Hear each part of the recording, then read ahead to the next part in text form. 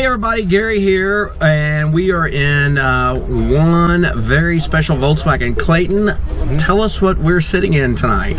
So, for the first movie in the Love Bug, they used 11 cars, and and uh, they needed one to do off the road scenes, off the cliff scenes, and where it was going to be kind of beat up. And out of car number one, two, three, through 11, this is car number 10, and so this is known as the the stunt car. This is truly from the very first Herbie movie, which was filmed They- in 60. They actually filmed it in 68, And, it, and it came out March of 69. So released March of '69, the Disney movies Herbie, everybody's familiar with, of course, and we are sitting in an actual. Uh, yeah. movie car This from the first Herbie. yes, sir. 50, this is the 50th anniversary, in 2019, 50 Oh years. Oh my gosh! I know, time flies. Made me feel young. Thank you.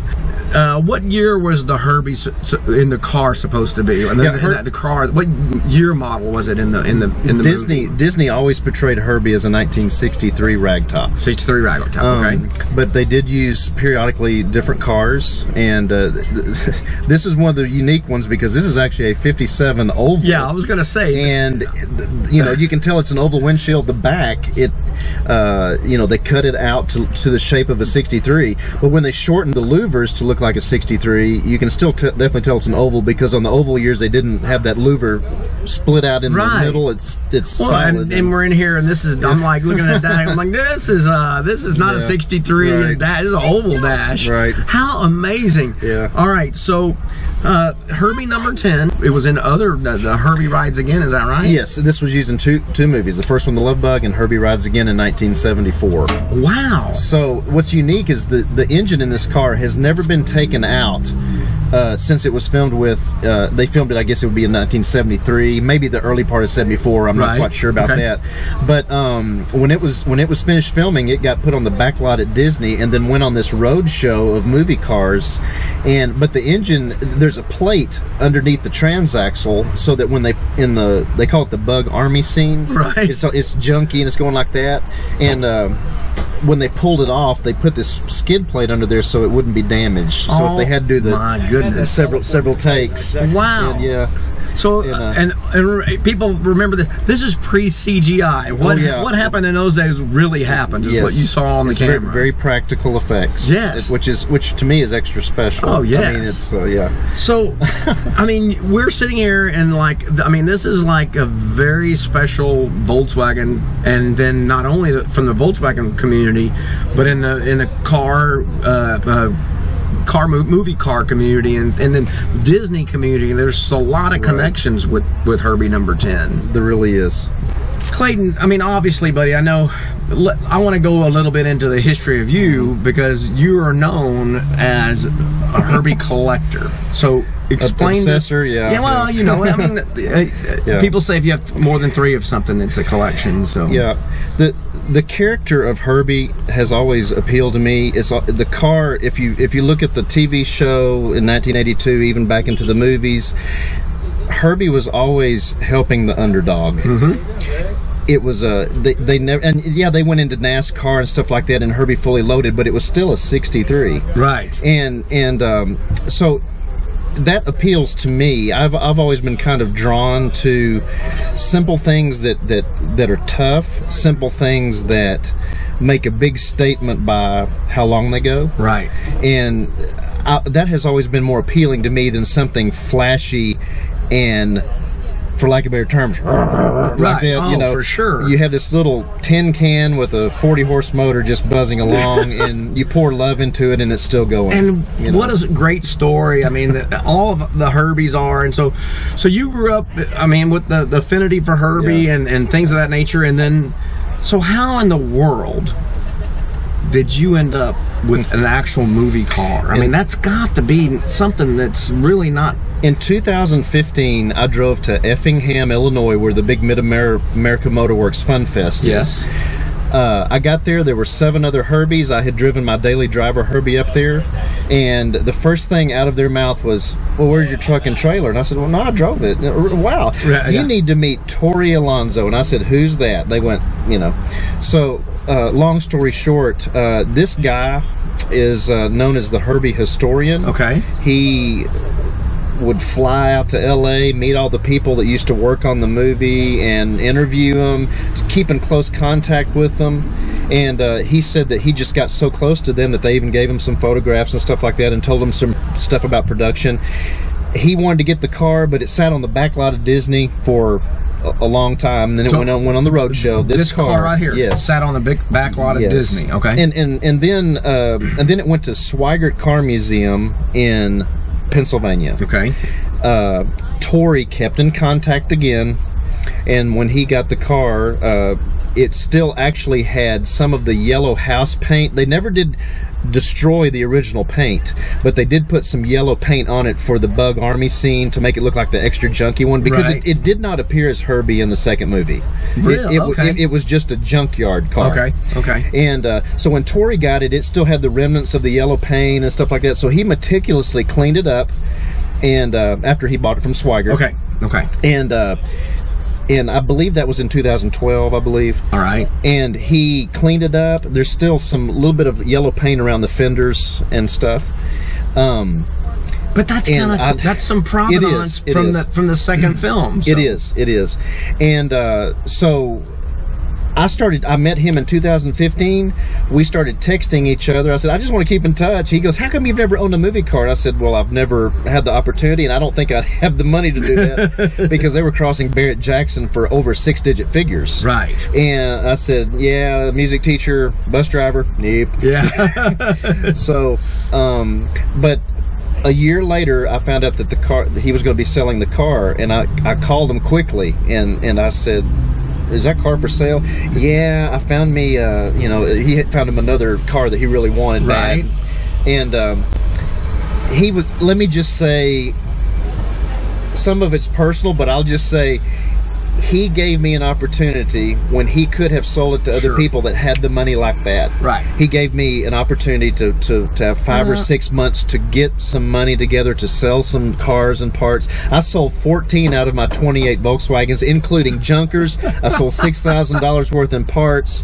And, and I was almost, you know, like, hey, do you need a kidney? Oh. You know, uh, I, I, I, I wanted to get this car. Sure. And there was, I mean, it's not, You a, know. there's not a lot, an opportunity like this just doesn't pop up. And I'm gonna I'm gonna go ahead and use the word not crazy but crazy obsession because this car, if you had a fully restored Herbie pink slipped proven car, I would still want this junky one. And the reason is is because this is the original paint, this is the original Yeah. dents. It's kind of like I tell people all the time. It's like Bonnie and Clyde's car. If you go see that, you do not want to see bondoed No. bullet holes. No, that's the beautiful. And, you know, well, so- like, like we were talking earlier. Yeah. This is an oval that they It is, they yeah. picked up. Who knows Right, right, how the, right. the studio did. And that even makes it more quirky. Oh my gosh! You know, and then they so- converted it to make it look like the '63 Right. ragtop. Right. I mean, that's the that, that that's just Yeah, amazing yeah. part of the story right there. and it takes somebody a little like me to fork out money well, like this. uh, But most everybody out there in VW land's Um. Just now, how long have you had it? Uh, th- this literally came to my house Thanksgiving Day. I didn't even. I thought the truckers would be off that day. Yeah. Thanksgiving Day, 2016. Yeah, I kind yeah. of remember that happening and Yeah. reading about he showed and up never and. I, I hadn't pulled the money to give the trucker and, and I went I was going to go down to the bank and pull it out and they were closed because it's Well, Thanksgiving, Thanksgiving. Day and I couldn't pull that much out of the ATM because you know red flag red flag Right. and so thankfully a friend of mine just happened to be driving by can I borrow sixteen hundred dollars I'll pay you back he had it in his pocket oh, there you go. so yeah the one thing I want to say really fast out of every Herbie this one to me is the one that I'm surprised they didn't just junk scrap Yeah, for You know, I mean, you know. so let's think it. Uh, they filmed seventy four. We figured that Mm-hmm. Yeah. the, the and then it sat on the lot. How, Yeah. When did they go to? The, I- I think when the- did they go to the museum? If I remember right, the road show started in 1979, 80, 81. so it have been like sitting for seven, six or seven years. Right, right. And I don't, you know, and I'm assuming it was running unless they just pushed it on the road show, pushed it on off trailers. I don't know. But then it, it sat, it sat for a long time. When Tori, when Tori got it, I, I remember him telling me that he had to put Marvel Mystery Oil and Yeah, loosen up the loosen- motor. Yeah, it's been sitting for so Yeah. long. He rebuilt the fuel pump, rebuilt the carburetor, but the motor has not been slid off the tranny, the transaxle. Unbelievable. Yeah. I mean, it's driving. It, it drives. This is a driving It drives. Yes. car. And I drove it 50 miles for Herbie's 50th anniversary. I did trailer it to Disney, but we drove it 50 miles in a caravan around Orlando. So, like when you showed up at the Herbie gathering, the 50th. Yeah. I mean, w- this was rock star. I mean, This- this, is like walking around with Mick Jagger in your back pocket. I mean, for for the Herbie people, I, I was overwhelmed, to, and and it was my joy to share it. I Oh, did, yeah. I did not buy this car to hoard. right. I, I bought this car so other people like me, Like. I would give them a, Yes. A an opportunity to actually. Oh my gosh, that's an actual Herbie. Yeah. Yeah. So the Volkswagen emblem on the hood is Yeah. covered up. Yeah, in 1969, Volkswagen actually did not want Okay, that's their emblem on this car because they they according to the documentary that's out Yes. on, on Lovebug they Okay. were they they didn't know if they were going to be making fun of the product or how if the movie was a flop they didn't you know But but the, powers that be. I mean, Yeah, it- it- yeah. this has a very unique shape. I mean, we know what a Volkswagen looks like. Exactly. I mean, so- exactly. So, they there was no Volkswagen on the hubcaps emblem. There was no emblem there. There was one shot. But what's they, funny is it know- is an emblem. They just covered it They up, just or it's a disc or something. I mean, yeah, they just put a disc over it. Yeah, yeah. and then on the second movie, of course, they said, "Oh yeah." Oh yeah, yeah. Yeah, this was so, So- much popular- popularity. So, wow. And for Volkswagen dealerships in 1974, they actually offered a Herbie kit. If you bought a Beetle, you could have a Herbie kit. No fooling. That that was one of the the Volkswagen promotions. they, were they were Yeah. they were on board, at that point. hey, we love these guys. Yeah, exactly. Oh my gosh. Clayton, show us some of the just really cool things that that just make Herbie 10 number 10. look, look- look at some of the special Here's, things. here's a couple things that I think is very unique they kept on here. These little brackets on the bumper here. Uh, that was where the original cables went in the drunk scene when they would raise it up and down when it was drunk on Irish coffee. And as they would raise it up extremely fast, it would make the hood naturally go up. And then these bungee cords are still the original bungee cords that would bring the hood back down. And on both sides, they're still there. For Herbie Rides Again, it says car number 11. Uh, they stenciled it there. And let me show you where they put car number 10 for um, Love Bug. This is a little more primitive, but they just took a Marks a lot and put number 10 on there on the on the door jam. Did they really? Yeah. what do we have here on the on the passenger door? That's really really cool. So th- there are a few updates to the car, just just a little bit, but um, this 53 gumball is the only original uh, decal that's on the car. The other's Tory refreshed, just so it has a little bit of a an appearance how it originally was in the Love Bug. But And- and- that's it's a survivor and that I mean, so think about that. That's been on there since 68. since '68.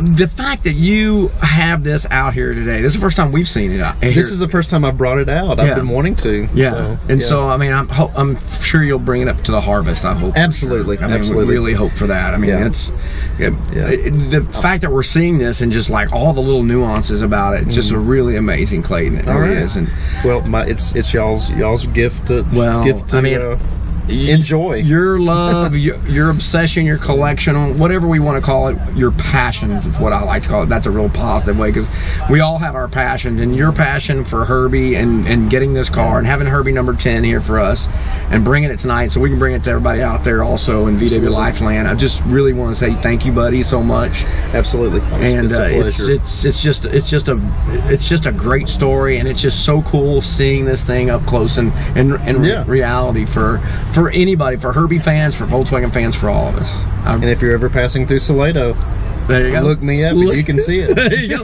up close and personal. Thank you, Clayton, so much, Okay. buddy. I sure appreciate it. Absolutely. Thank you, bud. Okay. So, hey, everybody, um, if you guys really enjoy what we bring you here at VW Life, I mean, cool stories. You know, we talked to you a, a couple episodes ago. One of the things we really want to focus on is the community and folks in the community. Clayton's one of the guys. I mean, this guy, he has had a, just a love for Volkswagens and Herbie, and, it, and this is its fruition. So, we're bringing this to you, uh, and because we love the community and, and all the little aspects that, that come in our community. So, if you like what you're seeing tonight, make sure you uh, subs- hit the subscribe button. Follow some of our uh, uh, uh, some of the f- folks that uh, help carry us forward. VolksAmerica, Wolfsburg West, uh, Jer-Fab. Some of the guys are really giving us a lot of help and on things of that nature. But please subscribe. We really appreciate that tell your aunts, tell your uncles, uh, tell everybody out there about Volkswagen Life, and uh, we really appreciate you guys. And uh, again, thank y'all for watching today.